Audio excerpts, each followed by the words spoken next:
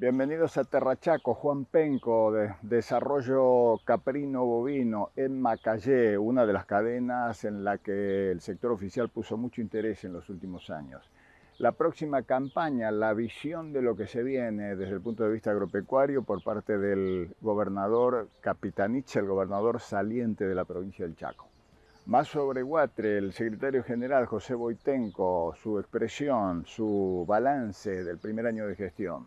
Y ya nos vamos a TVH. TVH es una industria de Córdoba, que es una planta industrial, la tiene en Castelli desde hace algunos años y además de máquinas viales, TVH trabaja con un manipulador, es autor de un manipulador telescópico que ha dado mucho que hablar, que ya está realizando trabajo en el Chaco, que tiene ventajas competitivas en relación con los que existen a nivel internacional y que ya estaban trabajando en el país, aquí en Terra Chaco.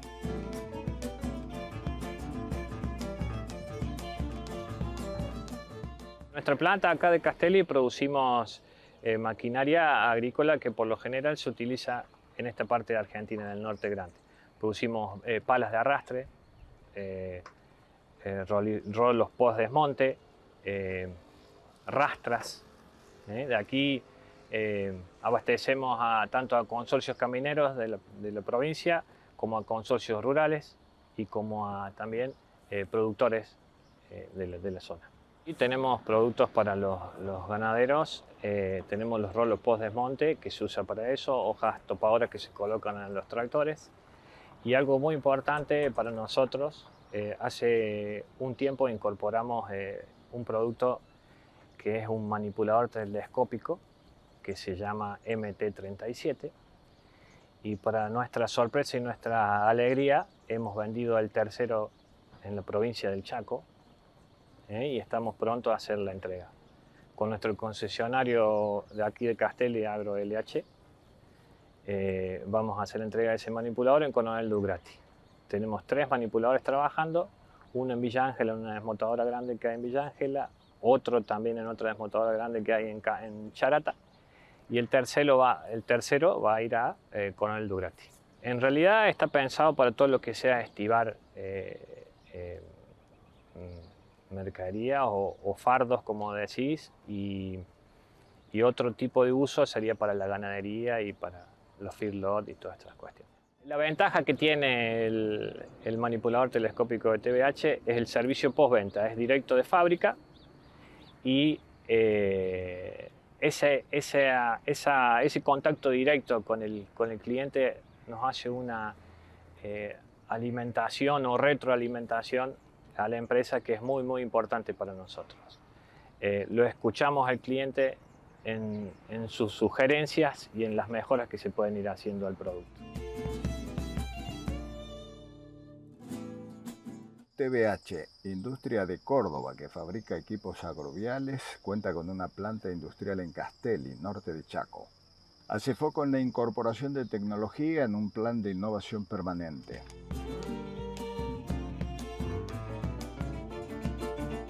Destacaría eh, la forma de trabajar, la línea de montaje. Es una línea de montaje nueva, tiene 5 años, 6 años. Entonces es como que está bien pensada, sí, se fue adecuando algunas cosas, se van cambiando siempre para tratar de mejorar siempre. Eh, hacemos lo que llamamos dispositivos para acelerar el proceso de montaje. Hemos incorporado la sala de lavado, eh, hemos incorporado puentes grúa para, para, todo para agilizar el proceso, digamos, y para aminorar también por ahí el desgaste que tenga el operario a la hora de trabajar. Y yo quisiera ver, eh, por ejemplo, tener eh, otras líneas de productos, tratar de incorporar nuevas líneas de productos en base también al, a la necesidad de, de, la gente de la zona, digamos, más que nada. Y bueno, seguir, seguir innovando, seguir innovando.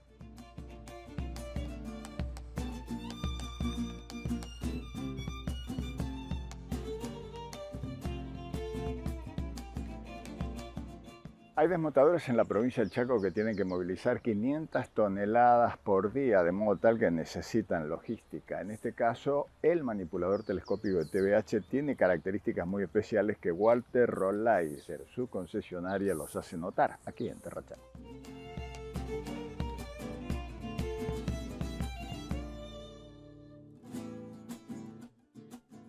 Nosotros como concesionario apostamos mucho. Nosotros tenemos, por ejemplo, TVH 22 máquinas en stock porque no queremos eh, saber que las fábricas fabrican por series, que a veces las series se largan cada cuatro meses, cinco meses, se largan 15, 20 palas.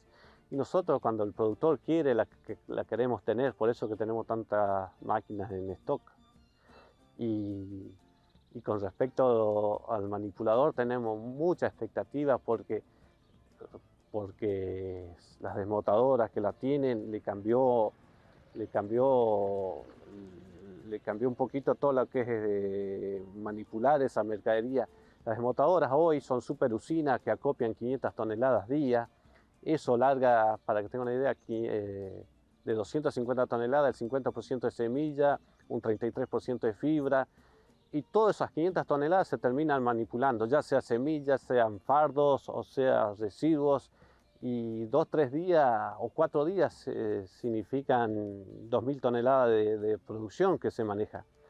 Y, y, testimonio de los operarios, por ejemplo, que antes cargaban tres, cuatro equipos de semilla con una máquina, hoy el manipulador está cargando 13 equipos, con el mismo operario, con el mismo costo y con menos combustible, si se quiere. Eh, y ya las desmotadoras que incorporaron unos, está hablando de, otros, porque eh, el último que se vendió está trabajando, se vendió hace tres meses y va a llegar a las mil horas. Trabaja 20 horas por día, con dos o tres operarios. eso nos obliga a nosotros también a tener un buen servicio de postventa, porque nos apuran, o sea, se, pasó algo, el otro día un, electro por la fibrilla, y bueno, nosotros no podíamos estar parados más de seis horas porque tenía que sacar semillas, porque había que cargar. E, el postventa hoy eh, hacemos la diferencia.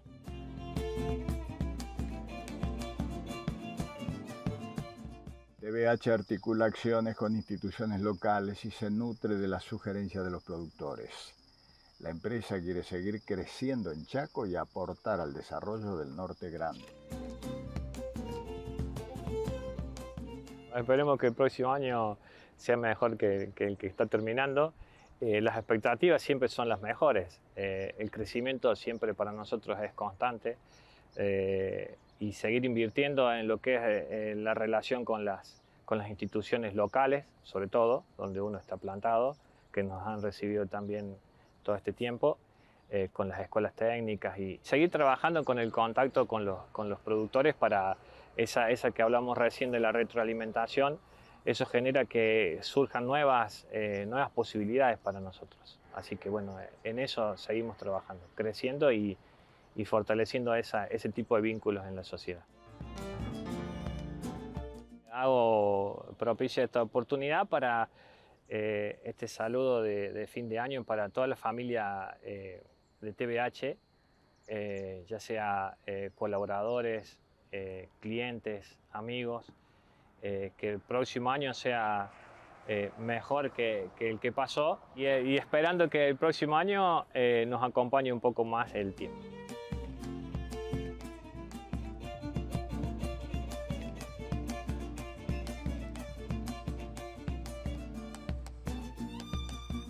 Después del corte, Guatre, su congreso número 31 realizado en la provincia del Chaco. Después del corte, el gobernador saliente Jorge Capitanich hablándonos acerca de lo que ocurrió en los últimos años del sector agropecuario y lo que se viene en la próxima campaña, aquí en Terra Chaco.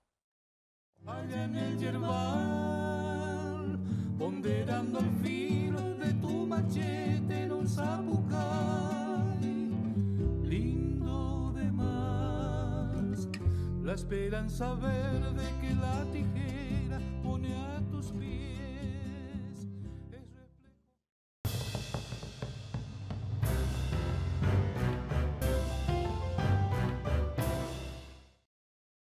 Estar cerca de las bases, capacitar a los trabajadores rurales para que sirvan mejor, para que sean más útiles a, su, a la parte patronal. Algunos de los objetivos de Guatre aquí en Terra Chaco.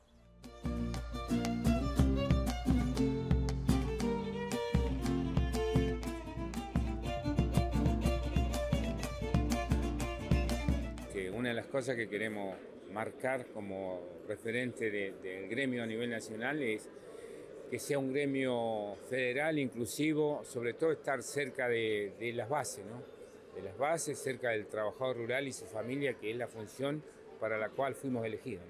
Sin duda nosotros tenemos que capacitar a nuestros trabajadores porque bueno, se está trabajando en, capacitar a nuestra gente y también se está tratando de acordar con el sector empleador que ese trabajador capacitado este, tenga algún porcentaje más en su sueldo.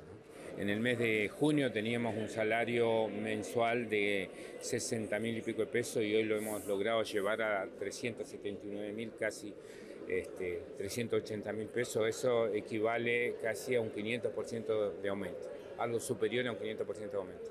Tenemos que tener este, capacitaciones, ayudar también al sector empresario. Yo soy un convencido que si al sector empresario le va bien, le va a ir bien a nuestros trabajadores sobre todas las cosas.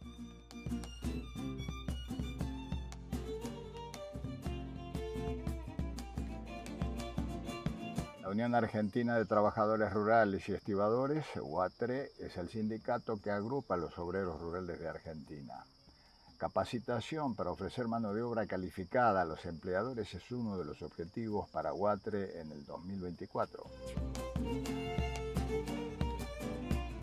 Y entre los grandes objetivos que nos fijamos, seguir trabajando en lo que hace la recomposición salarial, seguir trabajando en lo que hace a la capacitación de la mano de obra del trabajador rural, Entendemos que la tecnología avanza en el campo y nosotros tenemos la necesidad de brindar mano de obra calificada a, nuestro, a nuestros empleadores. Eh, vamos a trabajar fuertemente en lo que hace a capacitación, a educación, eh, un plan de erradicación con, con, con, conectividad para que los hijos de los trabajadores puedan formarse y educarse en su lugar de origen, darle la posibilidad a través de convenios con facultades, la, de que los hijos de los trabajadores rurales puedan acceder a alguna tecnicatura. Eh, hemos firmado convenio con la, con la UNE, por ejemplo, donde hijos de trabajadores van a tener lugar en la residencia estudiantil y van a tener beca de parte del gremio para que puedan cursar carrera universitaria, la que quieran, y ir formando profesionales propios del gremio con un sentido de pertenencia. Y estamos con todas las expectativas, o sea, nosotros somos respetuosos de la voluntad del pueblo, el pueblo ha elegido a este, señor Milei, que es el nuevo presidente de los argentinos, que próximamente asumirá, y esperemos que le vaya bien por el bien de todos los argentinos. Si al presidente le va bien, nos tiene que ir bien a todos los argentinos. Entonces, y a partir de ese, de ese, de ese esquema, este, nosotros seguir este, viendo de qué manera avanzamos en todas las conquistas que favorezcan los intereses de los trabajadores rurales del país.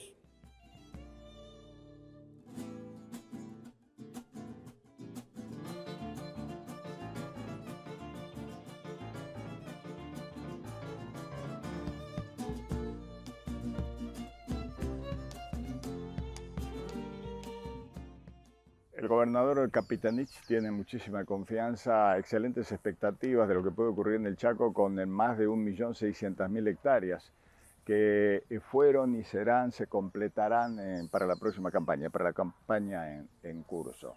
Con un poco de lluvia, por supuesto, todo puede ir mucho mejor aquí en Terra Chaco.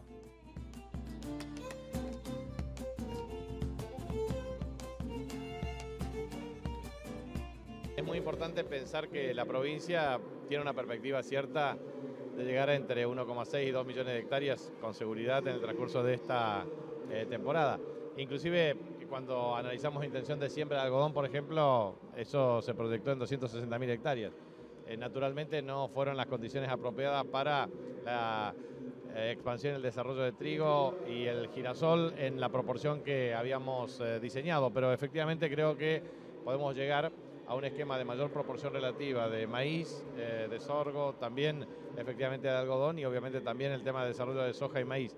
En consecuencia, eh, creemos que estamos en condiciones de pensar en cerca de 5 millones de, toneladas eh, para la temporada o, o, más inclusive, con cerca de 2 millones de hectáreas. Así que yo creo que eso va a ser muy bueno y obviamente con buenas condiciones climáticas va a ser muy bueno para la provincia del Chaco. Y es bueno pensar lo siguiente, más producción significa más flete, más flete desde eh, bares, restaurantes hasta cargadores y otros trabajadores conexos. Eh, y obviamente también toda la infraestructura desde el punto de vista de lo que significa la movilización de, la, de los proveedores de insumos y también de otros desarrollos alternativos. Así que yo creo que es muy importante para la provincia del Chaco pensar que entre el 2005 hasta el año 2023 una expansión de cerca de un millón de hectáreas de superficie sembrada y en segundo lugar un incremento significativo en materia de toneladas, cerca de 4 millones de toneladas. También no es menor que eh, hemos podido observar un incremento sustantivo desde el punto de vista de la provisión de tractores. Eh, cerca de 6.000 tractores hoy constituyen el parque automotor de la provincia. Más de 4.000 eh, tractores se han podido vender en los últimos 20 años y en los últimos principalmente 16. Como así también este, uno lo observa en materia del parque de camiones y naturalmente todo el desarrollo que han tenido eh, los distintos eh, mecanismos para los consorcios de servicios rurales y consorcios camineros.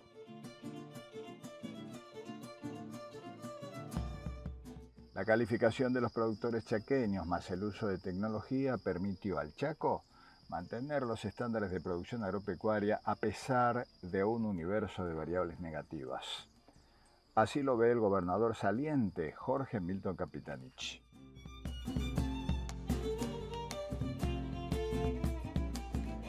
La verdad que hemos tenido, yo calculo, siempre entre 42 y 48 meses de déficit hídrico marcado, con un desvío muy significativo para la provincia. Eh, la verdad que una conjugación de factores adversos. Primero, una sequía severa, eh, la reducción más drástica de caudal del río Paraná de los últimos 70 años, una pandemia extraordinaria, una alteración del precio relativo por la guerra de Ucrania y Rusia, alta inflación y obviamente la sequía que terminó de acomodar estas variables en contra, pero la verdad es que pese a todo, este, lo que hemos observado muy bien es que la calificación de los recursos humanos de los productores chaqueños eh, y eh, la utilización de tecnología intensiva permitió sostener y mantener eh, estándares de productividad muy significativos. De manera tal de que cuando tengamos mejor perfil de humedad en el suelo, seguramente tendremos más incremento de producción y también mayor industrialización relativa.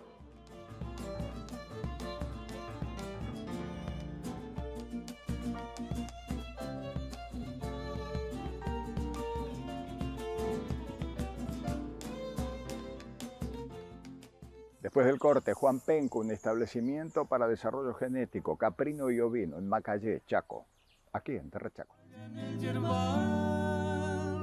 ponderando el filo de tu machete en un lindo de más, la esperanza verde que la tijera pone a tus pies.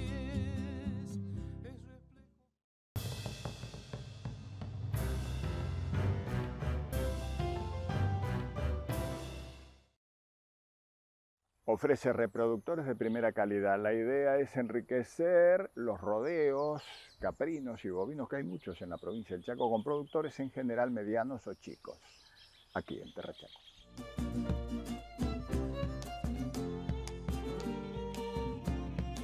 Un campo experimental que cuenta la provincia del Chaco, donde nosotros hacemos todos los trabajos en potenciar eh, la producción y todo lo que se prueba, ya sea con técnicas de reproducción, de, nutrición, tanto para la ganadería caprina y ovina. Y en esta, en esta institución se trabaja con eh, dos razas en la, en, la, en la raza ovina, sobre todo lo que es la raza Santa Inés y la raza Dorper, y en caprino con la raza Boer.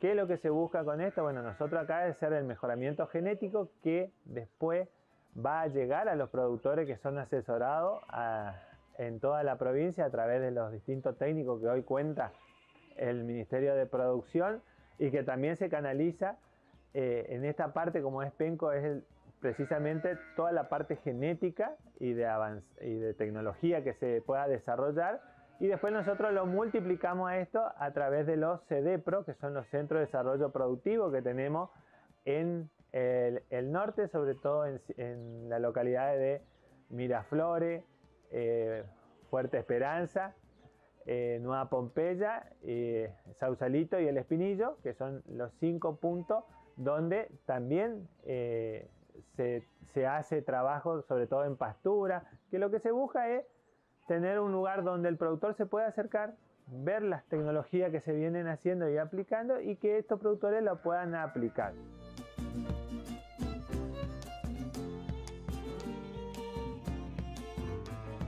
El gobierno de Chaco, a través de establecimiento Juan Penco en Bacallé, potencia la producción ovina y caprina de la provincia.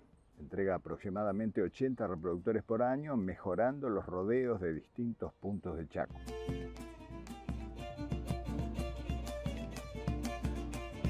Depende de la producción del año, estamos distribuyendo entre 80 a 100 animales anuales con en las distintas zonas y a través del acompañamiento eh, técnico. Todo esto se logra eh, diariamente con el trabajo de cada uno de los técnicos en cada una de las localidades y lo que buscamos es siempre replicar y también hacer un fuerte trabajo en lo que es la comercialización. Por eso todo el equipo trabaja en función al frigorífico de la cooperativa Trento Chaqueña que está ubicada en Pampa del Infierno, donde eh, todo el equipo trabaja mancomunadamente en la logística para poder comprar los animales de los productores que, remiten y esto hacer toda la logística para poder darle una ayuda eh, al productor en cuanto a lo comercial, porque si no la logística de traer los animales desde Sausalito, Miraflores o cualquier punto de la provincia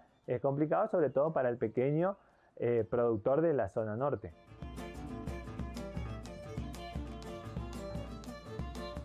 En el 2010, con Santa Inés y Dorper, se comenzó a desarrollar la parte genética del sector ovino en la provincia de Chaco, en este establecimiento Juan Penco, precisamente, aquí en Terra Chaco.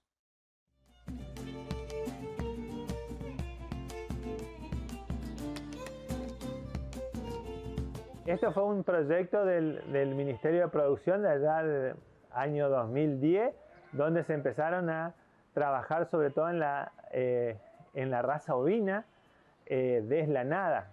Y la primera incursión que tuvo fueron estas dos razas, la Santa Inés y la Dorpe, que fueron las primeras incorporaciones allá por el año 2010. Y gestión tras gestión han pasado diferentes funcionarios, pero cada uno le dio su impronta y esto ha seguido evolucionando y hoy ha transformado la, ganadería ovina en la provincia, teniendo que hace, le digo, del 2010 la majada en la provincia eran de alrededor de 80.000, 90.000 cabezas y hoy estamos a casi las 300.000 cabezas de, ovino, eh, que también hay algunas razas productoras de lana que todavía siguen, pero la mayoría de los productores, teniendo las condiciones eh, climática que tenemos acá en el, Chaco han optado por estas razas de la nada, que son muy buenas productoras de carne y que han tenido su impacto y que hoy el productor lo ha visto y lo ha incorporado y se sigue desarrollando. Creo que ese es el impacto que viene y, y gestión tras gestión se sigue manteniendo y apuntalando esta producción. Y siempre en el, en el manejo del equipo técnico que conserva el Ministerio de Producción, a lo largo de todos estos años, que son los que realmente es lo que ejecutan todas las decisiones en, el terreno provincial. Josefina Locina es la técnica encargada del establecimiento Juan Penco e informa Terra Chaco acerca de su metodología de trabajo. En el establecimiento Juan Penco contamos con la raza ovina Santa Inés y Dorper y la raza caprina eh, Boer. ¿sí? Nosotros lo que hacemos es producir machos que son entregados a los productores en forma de comodato, en donde el productor generalmente tratamos de ayudarlo. Entonces, eh, tratamos que cuando ellos vienen a hacer el retiro del animal, nos reintegren con algo del 50% en el momento de la entrega ¿sí? Eh, en donde ellos si producen maíz nos traen una bolsa de maíz, si tienen alfalfa nos traen alfalfa, si tienen sorgo nos traen sorgo, todo lo que nos puedan ayudar para alimentar y mantener esta estructura eh, es recibido. Así que, y hay otros que dicen, mira, yo te puedo dejar pagado combustible, dejan pagado combustible en la estación de servicio, que nosotros subsistimos con lo que ellos nos, nos ayudan a mantener esta estructura y esta cantidad de animales que tenemos. ¿sí? Yo estoy hace tres años haciéndome cargo del establecimiento en donde por año entregamos alrededor de 80, 85 animales eh, y atendemos casi a toda la provincia porque no solo trabajamos acá en Macallé, sino vienen de San Martín, de Villa Ángela, de Pampa del Infierno, o sea, trabajamos en toda la provincia y con buena, con buena eh, recepción de los animales.